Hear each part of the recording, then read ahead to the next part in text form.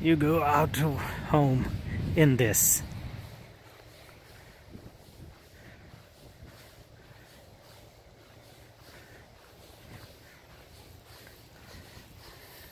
It's almost March and now it's snowing.